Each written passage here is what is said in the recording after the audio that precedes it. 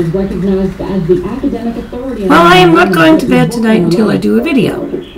So, this is just one that I'm testing. Testing, testing, one, two, three. Ahern, the Canadian Well, I do like to be beside the seaside. Oh, I do like to be beside the sea. Well, I do like to be beside the sea, seaside. And the seaside likes to be beside me. Amazing grace, how sweet the sound that saved a wretch like me.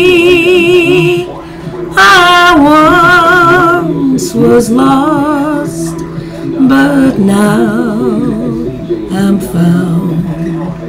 Was blind, but now I see.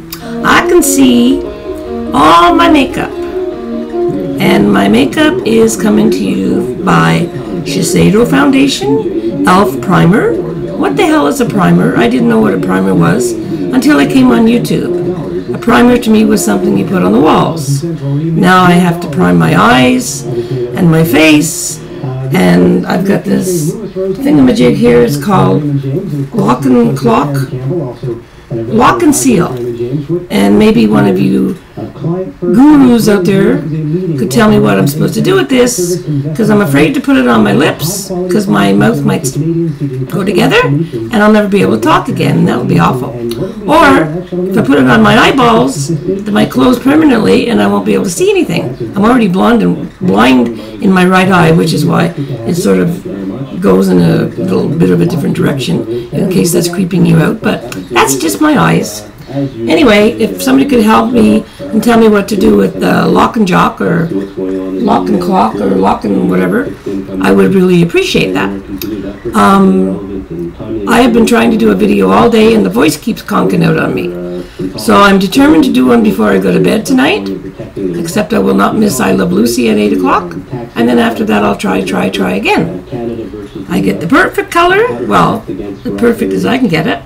And now the microphone's going all weird on me. So if this video does sort of come out, and I might post it, just because people are asking me to post a video, if you come to a part where my voice is going funny, just fast forward for a couple seconds, and then it sort of goes back to whatever.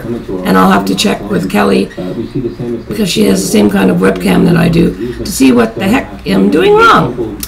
Okay, so Kelly be expecting a call, you lucky girl, and uh, I'll see you all soon. And this is Suzy coming from Montreal, and the next time I promise I will have a haul because I have so many things that I have to show you guys.